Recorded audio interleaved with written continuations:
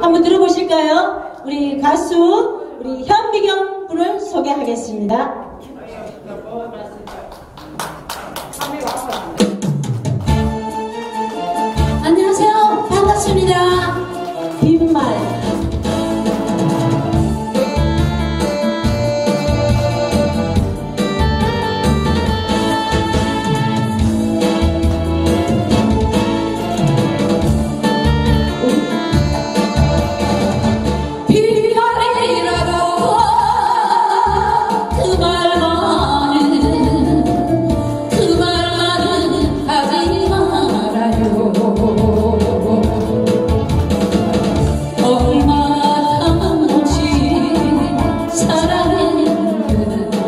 heart.